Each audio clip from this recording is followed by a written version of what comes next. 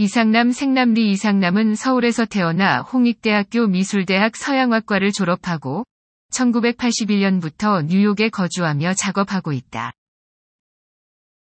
이상남은 1981년부터 현대미술의 메카인 뉴욕에서 거주하며 활동하고 있다.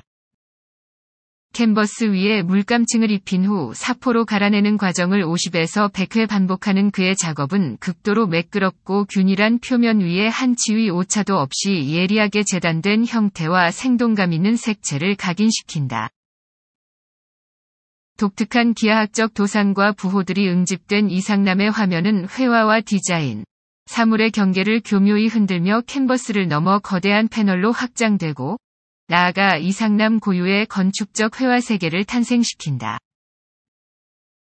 경기도미술관 로비에 설치한 풍경의 알고리즘, 2012년 폴란드의 포즈난 신공항에 선보인 대형 벽화, 그리고 2013년 주일 한국대사관에 공개한 대형 설치 회화가 그 예로 공공의 장소에서 보다 많은 대중들이 미적 경험을 할 수 있도록 유도한 작업이다. 작가의 정밀한 기하 추상 세계는 Art in America, ARTFORUM, 월스트리트 저널, 뉴욕타임즈, ArtAsiaPacific, 월간미술 등 국내외 유수의 매체로부터 주목받아 왔으며 그간 브루클린 뮤지엄, 엘가 의머 PCC, 갤러리 어퍼트, 과천 국립현대미술관 등 영향력 있는 미술기관에서 개인전과 그룹전을 통하여 공개되었다.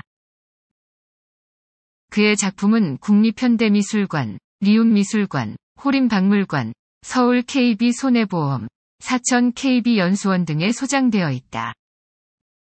시청해주셔서 감사합니다.